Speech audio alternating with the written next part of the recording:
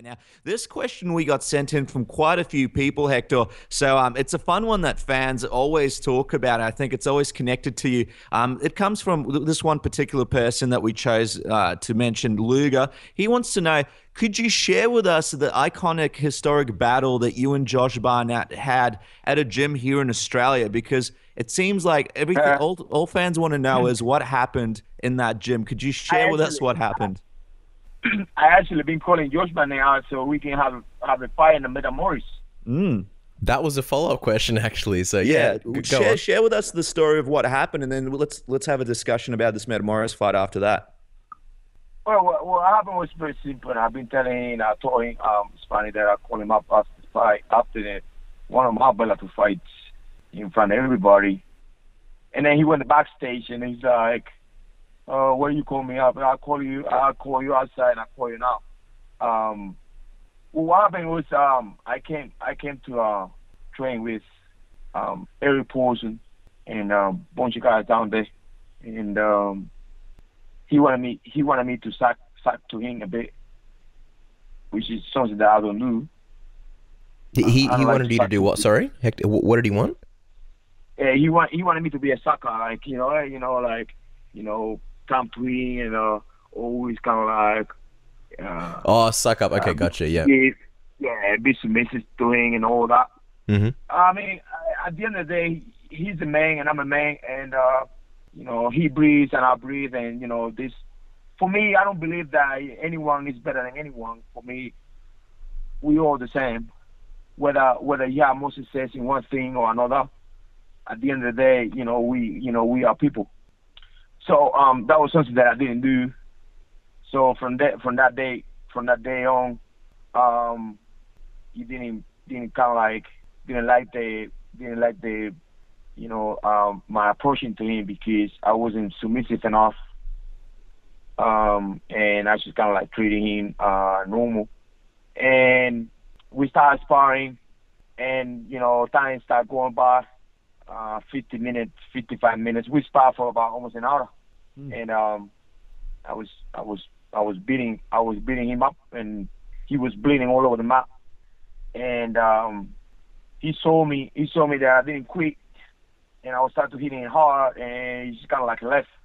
He left the gym, and um, it's funny because uh, Erik Paulson was cleaning. He was cleaning the whole gym, blood everywhere, uh, broken nose, whatever. And after that, um, he he he started hating me even more.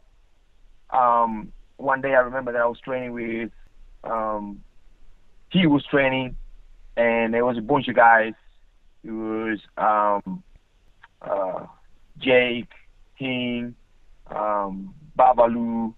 Uh, it was it was uh, it was so many of those guys, and, and you know, all of them his friends, obviously. And I started doing uh, I started sparring all of them, and you know, after I was doing about six changes, he jumped in. I was tired, he took me down without me knowing that I was, you know, a, you know, a takedown, and he was pounding, pounding the hell out of me. I was at one point, I, I, I, you know, for my mind, when my mind went through like, wow, I'm dead here, because uh, he was pounding the head of me so bad.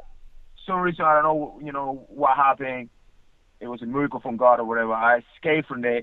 I jumped on top and I start pounding him up, and. uh he's like, "Oh, that's it, that's it, that's it," and he left the game. oh wow! So, I mean, that you know, confrontation by confrontation, you know, um, so it, it was kind of like he couldn't bully me, and that was his biggest issue. And yeah. and then after that, um, I couldn't even get you know get to train because he would call the guys at different time.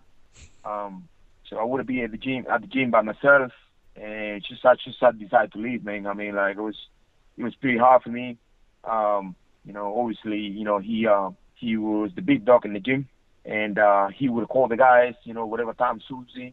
Um, Jamie, uh, Babalu, and the rest of them. So they wouldn't show up at the time. Sometimes they would train different times. So I couldn't get my training. So I just decided to leave. I came down. I came down to ATT and uh, the rest the rest is history. Mm. Yeah. But that Yeah. was actually what, what happened there. Yeah. And he knows it. Uh, he can go and say whatever he wants. Um, actually, you know, I mean, I gotta be fair. He's been making good comments about me lately. Um, I kind of like tried to squash the the beef between between us. Um, but um, I should tell you what just happened. But you know, I got no, I had nothing against him anymore. Um, kind of like let it flow.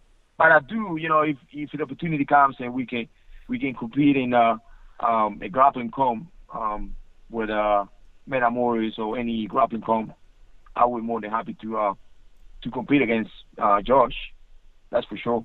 Yeah, well, that's that's the big one. I mean, it's a fight that um, it's a matchup in Metamoris the fans would love to see. I mean, it would garner so much interest. Just wondering, you know, Josh is obviously the big dog over there at Metamoris at the moment. If you guys did get an opportunity to compete against each other in Metamoris in the upcoming Metamoris, how would you see yourself uh, matching up with him? Do you believe you'd beat him in the grappling matchup? But you know, there is a reason why I'm calling I'm calling him, right? Mm. I mean, no disrespect, but I see myself winning. Um, I don't see I don't see him beating me, and um, you know, I, I hope that uh, one day you know Metamoris can make that fight happen.